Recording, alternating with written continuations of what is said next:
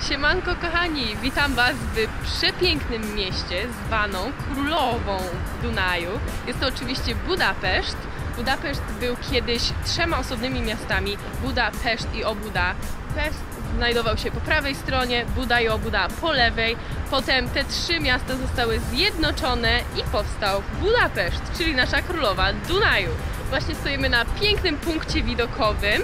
Niestety mamy trochę zamglone widoczki, ale i tak jest przepięknie, więc teraz zapraszam Was na super trzy dni spędzone w przepięknym mieście pełnym świetnych atrakcji. Lecimy!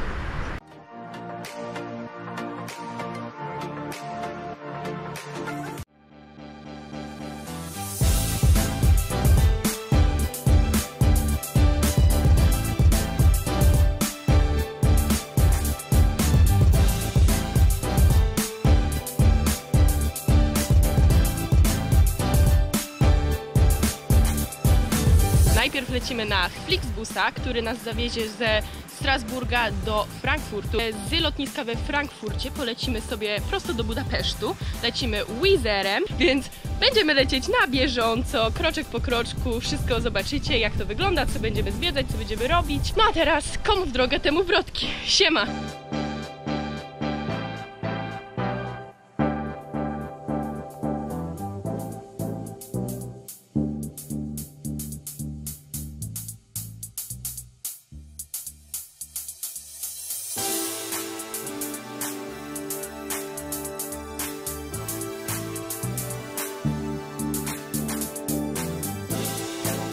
No słuchajcie, udało się po długim dniu. Jesteśmy w końcu w naszym apartamenciku. Jest śliczny, tak jak widzicie, piękny, duży pokój. Mamy także swoją kuchenkę oraz łazienkę, więc jest ekstra i w samym centrum. Więc teraz chcemy się wybrać szybko coś zjeść, bo jesteśmy mega głodne. Więc na pierwsze jedzonko w Budapeszcie wybrałyśmy tą restaurację i po prostu było przecudownie. Sami zresztą za chwilę zobaczycie, co w środku było takiego cudownego.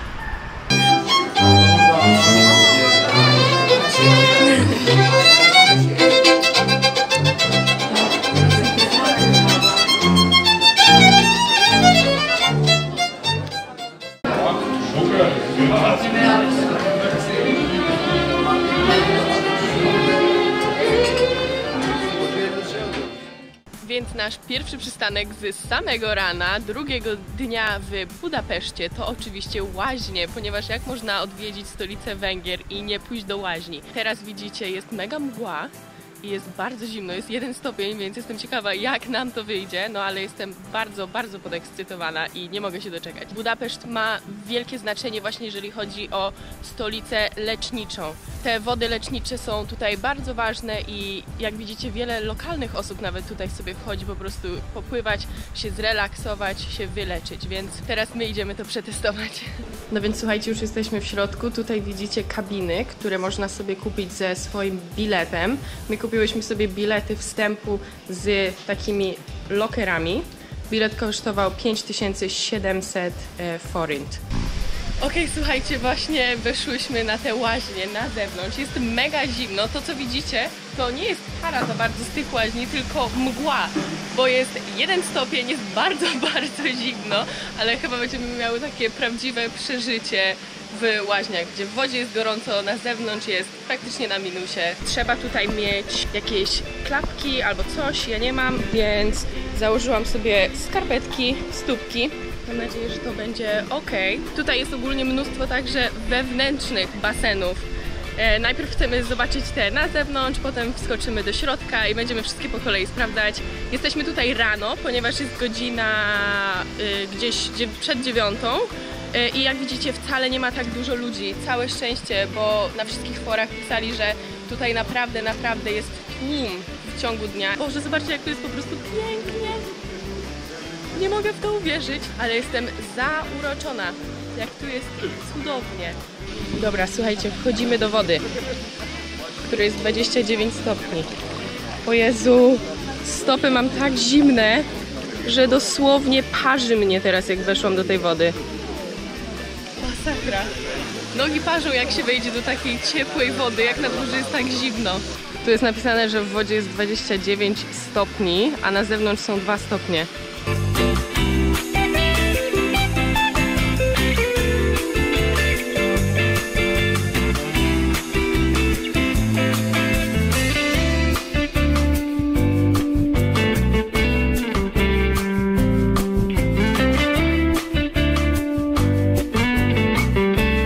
Sobie siedzimy w wodzie, to opowiem Wam małą ciekawostkę na temat tych łaźni. Były one zbudowane podczas tureckiej okupacji, więc to właśnie Turcy zbudowali te łaźnie i dlatego bardzo chwalą się one piękną, piękną architekturą. Naprawdę te budynki tutaj są przecudowne, więc nie tylko można się tutaj zrelaksować, odpocząć w leczniczych wodach mineralnych, ale także można podziwiać przepiękne budynki.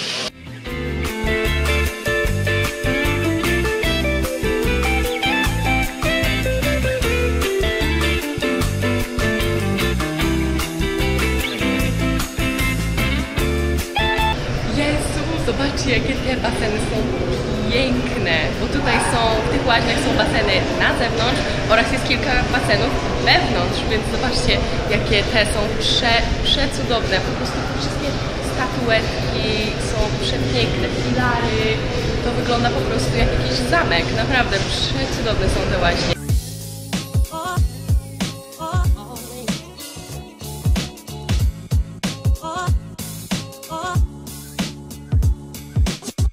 Więc teraz szykuje się druga atrakcja dzisiejszego dnia. Po łaźniach wróciłyśmy do naszego apartamentu, ale przed tym jeszcze poszłyśmy szybko zjeść śniadanie o godzinie 12, bo do łaźni poszłyśmy bardzo wcześnie rano i ogólnie byliśmy tak podekscytowane, że nawet nie zjadłyśmy śniadania. I teraz lecimy na punkt widokowy Citadel. Żeby tam dotrzeć, będziemy musiały najpierw przejść ten cały most, a potem musimy dotrzeć tam na szczyt góry, która znajduje się za drzewami.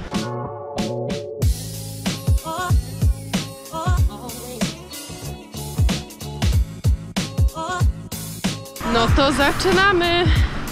Pierwsze schody.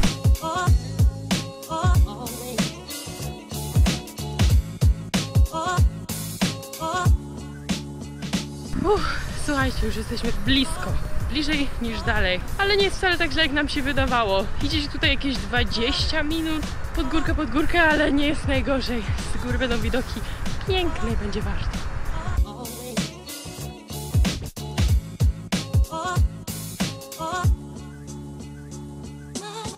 Dotrzecie na sam szczyt e, góry Citadella i oczywiście zobaczycie piękną panoramę, to także ujrzycie ten pomnik, który znajduje się za mną. I jest to pomnik wolności. Most, który tutaj widzicie za mną, to jest tak zwany łańcuchowy most, po węgiersku Szeczeni Bridge, mam nadzieję, że dobrze to wymawiam. Ten most jest tak sławny, ponieważ był on pierwszym mostem na Dunaju, na Węgrzech, który połączył jedną stronę kraju z drugą.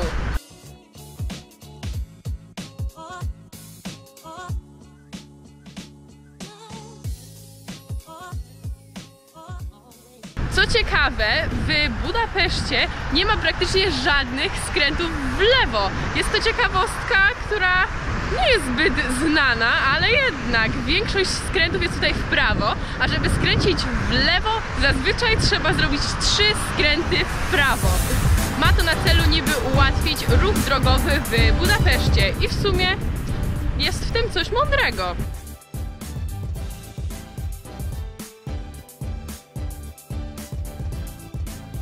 Naszą kolejną atrakcją jest rejs statkiem, za który zapłaciłyśmy 12,26 euro za studentów. Za dorosłych kosztuje on 15 euro. Jest w tym wliczony oczywiście piękny rejs po Dunaju oraz e, coś do picia typu wino, piwo lub coś innego i także lemoniada. No mega się cieszę, nie mogę się doczekać. W każdym mieście większym, do którego jadę, zawsze staram się zaliczyć rejs statkiem, jeżeli jest to możliwe.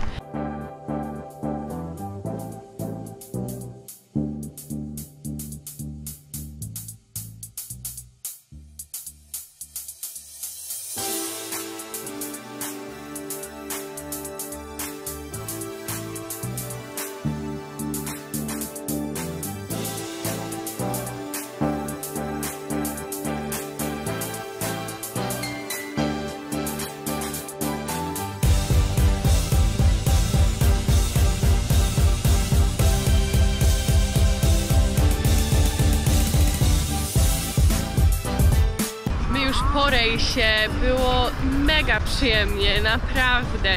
Niestety nie było pięknego zachodu słońca, bo jest dość pochmurnie, ale i tak Dowiedziałyśmy się dużo interesujących rzeczy, zobaczyłyśmy piękne, piękne widoki. No i jak widzieliście, można wszystko słuchać po polsku. Dostałyśmy także pyszną lemoniatkę. Do tego ja sobie zamówiłam piwko, wszystko obliczone w cenę, więc mega przyjemnie. Mi było tak przyjemnie i cieplutko, że myślałam, że się trochę zdrzemnę nawet. Zdecydowanie polecam. Miło spędzona godzinka i warto takie coś przeżyć na Dunaju. Dzień dobry, dzień dobry moi drodzy. Witamy trzeci dzień w Budapeszcie. Mamy piękny poniedziałek, o wiele mgnie, mniej mglisty niż wczorajsza niedziela. Nasz wczorajszy wieczór zakończyłyśmy w super, po prostu niesamowitym barze ruinowym, ponieważ w Budapeszcie jest ich sporo i są one bardzo znane. My poszliśmy do tego najbardziej popularnego dla turystów, czyli Simplaker i było po prostu ekstra. No niestety tam było ciemno, więc nawet nie mogłam nic za bardzo nagrać. To co teraz widzicie to jest to co nagrałam z telefonu, bo GoPro nie da rady w takich ciemnych warunkach. Ale po prostu naprawdę warto tam pójść. To oczywiście troszkę droższe niż takie zwykłe bary tutaj węgierskie, ponieważ tam na przykład e, drinki kosztowały 2000 forint, czyli około 7 euro. No czyli taka na pewno droga cena jak na węgierskie warunki.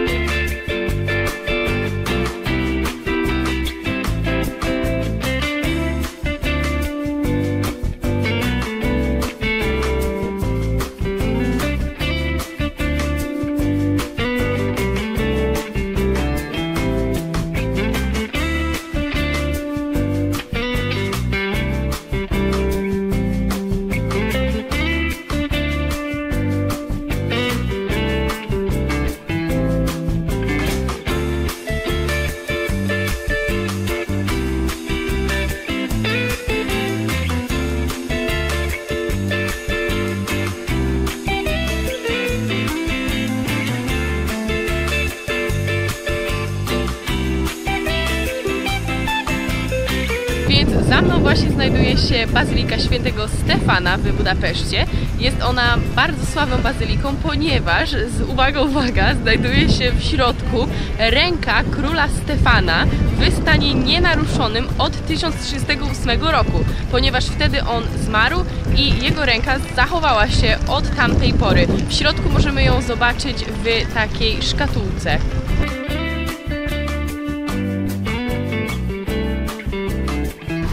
Och, witamy już niestety ostatni nasz dzień w Budapeszcie, a tak naprawdę poranek.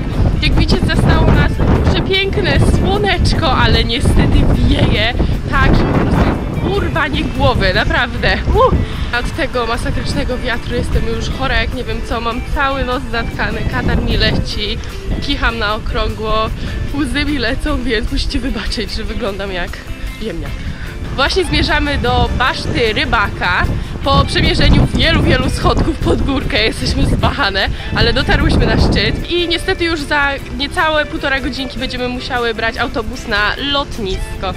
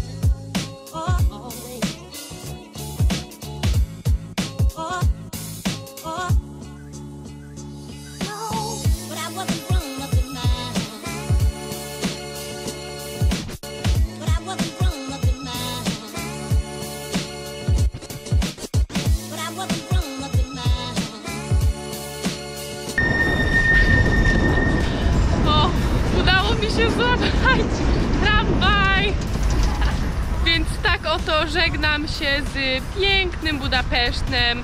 Bardzo przykro jest mi stąd wyjeżdżać, ale cieszę się, że mogłam tutaj spe- spędzić prawie trzy pełne, cudowne dni. Naprawdę śliczne miasto, warte zwiedzenia. No i wiadomo, mega, mega dziękuję za oglądanie. Jeżeli interesuje Was podróżowanie, życie w Irlandii, we Francji, no to mega zachęcam do subskrybowania. I zostawienia łapki w górę i widzimy się wkrótce. O, znowu jedzie tramwaj! Siema!